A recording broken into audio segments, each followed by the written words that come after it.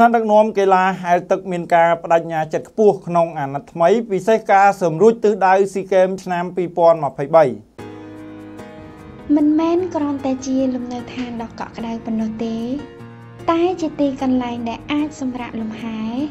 រំសាយរាល់ទុក្ខកង្វល់អារម្មណ៍ស្មុគស្មាញបន្ទាប់ពីការនឿយហត់ពេញមួយថ្ងៃគឺជាទីឋានពោពេញដោយសេចក្តីសុខសុភមង្គលជានិរន្តរ៍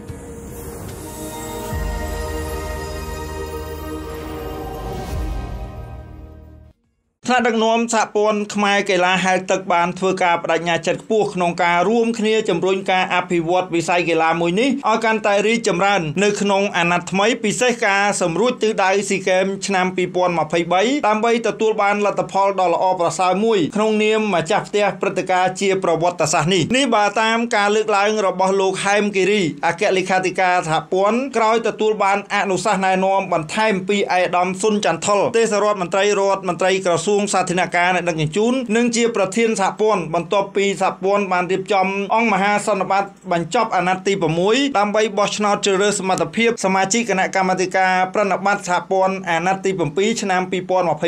2025នៅទីស្តីការក្រសួងសាធារណការនិងដឹកជញ្ជូនកាលពីចុងសប្តាហ៍កន្លងទៅលោកហែមគិរីបានលើកឡើងថាឆ្លងកាត់អាណត្តិចាស់កន្លងមកសហព័ន្ធបានសម្រេចលទ្ធផលជាច្រើនទោះបីក្នុងបរិបទ COVID-19 ក្តីតែជោគជ័យធំធំមួយចំនួនលេចរូបរាងជាបន្តបន្ទាប់ដូច្នេះក្នុងអាណត្តិថ្មីនេះក្នុងនាមមន្ត្រីបច្ចេកទេសលោកបដញ្ញាចិត្តនិងអនុវត្តតាមអនុសាសន៍ណែនាំរបស់ថ្នាក់ដឹកនាំសហព័ន្ធដើម្បីសម្រេចបាននៅយុទ្ធសាស្ត្រក្នុងដំណើរឆ្ពោះទៅស៊ីហ្គេម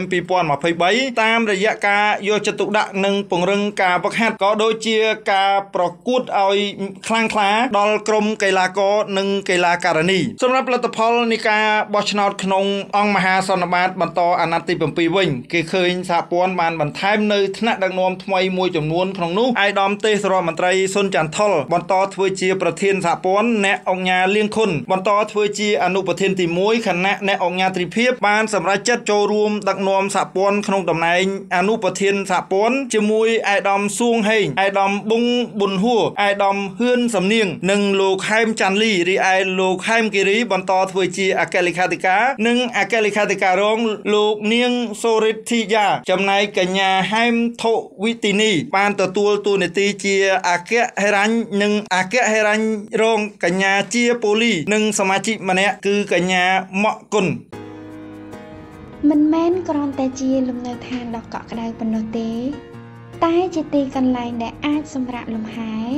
រំសាយរាល់ទុក្ខកង្វល់អារម្មណ៍ស្មុគស្មាញបន្ទាប់ពីការនឿយហត់ពេញមួយថ្ងៃគឺ ជាទីឋានពោពេញដោយសេចក្តីសុខសុភមង្គលជានិរន្តរ៍